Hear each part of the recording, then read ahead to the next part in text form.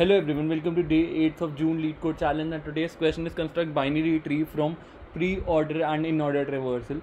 In this question we are given pre-order traversal and in-order traversal of a binary tree. Uh, we need to determine the complete binary tree, how what was the structure of the binary tree and return its root. So the question is a reverse question. Uh, we are given pre-order and in-order traversal and we need to reconstruct this complete tree there is an important constraint that is given in the question which is which says that all the nodes that are there in the binary tree are unique. That means the values won't be repeated across the tree. Without much ado let's look at the presentation that i have created for this and let's get started with it. LeetCode 105 construct binary tree from pre-order and in-order traversal. When we say we want to perform pre-order traversal on a binary tree we go to the node first, then to its left child, then to its right child. Info left right is the format for pre-order traversal. And in this example it is given to us as 3 9 20 15 7 with respect to in order traversal we first go in the left uh, child then the current node then to its right child. Left info right is a fashion in which we traverse the binary tree when we want to move in a pre-order in order fashion we'll start creating the, the tree in the pre-order fashion itself. So we I, I'll create a pointer starting to the zeroth index of the pre-order traversal and we know that the first node will act as a root of the complete tree because pre-order traver in pre-order traversal we start from the current node first which in the tree would be the root at the starting position. So what we are going to do we'll create a new node with value 3 in it. And then we'll try to search for its index in the in order traversal of that tree. If it exists then we return its index position. So at what index does this does this value exist? It it, it exists at the first index. Now we can for sure say that the, this part would act as a left side of that tree the left child of that tree and this complete part signifies the right child of the current node.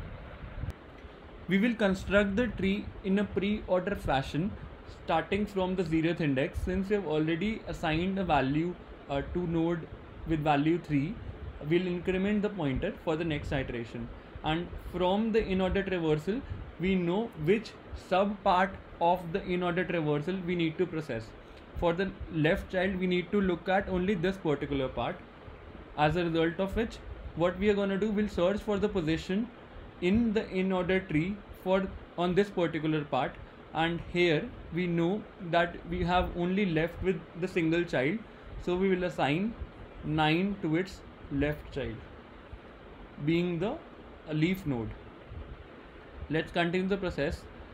Uh, next we next we'll increment the pointer for the further iteration and the pre-order pointer will point to 20 what we are gonna do we'll now fill in the right child of node 3 and let's assign 20 to its right child and we'll continue the process for the 20th node.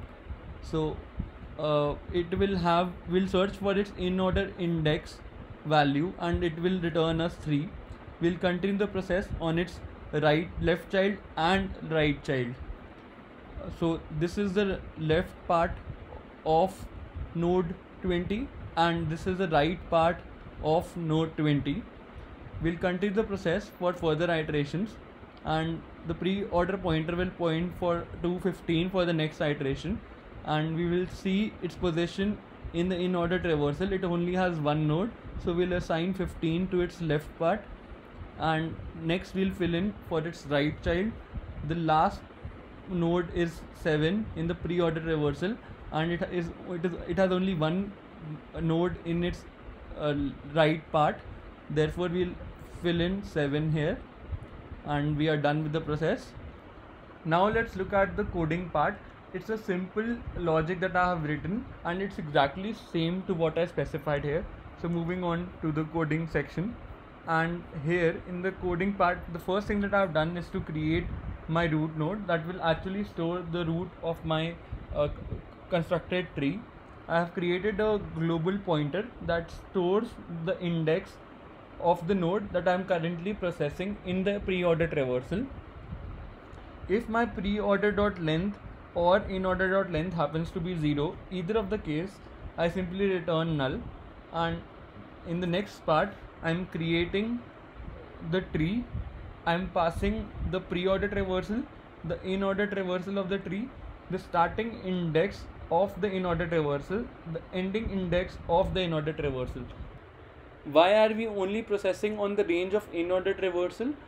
Because if you look at the presentation carefully, then we will see that we are actually reducing the range of the in-order traversal for further iterations in the recursion tree. So let's continue the process. Let's understand the built-in helper method. It has four parameters in it pre-order traversal array, in-order traversal array, start index in in-order traversal, end index in in-order traversal. As a base case I have written, in case the index in pre-order traversal value turns out to be greater than equal to the length of pre-order array, I simply return null, one of the corner case. And otherwise, I will create a node in the tree with value held at index in pre-order variable using the pre-order array. A new node is created created and then what we are going to do we will check its position in the in order traversal array using the start index the end index and the value that we need to search so let's look at this helper method it accepts the in order traversal in order array the start index where we need to search from end index where we need to search up to and the node value that we need to search. We start from the starting point go up till the ending point and in case the current node value is equal to the number the expected number we simply return the start pointer. Otherwise we return minus 1 in case the index in in order returns minus 1 it signifies the no that the node should be null and we simply abort the process without even go going further and return null from it.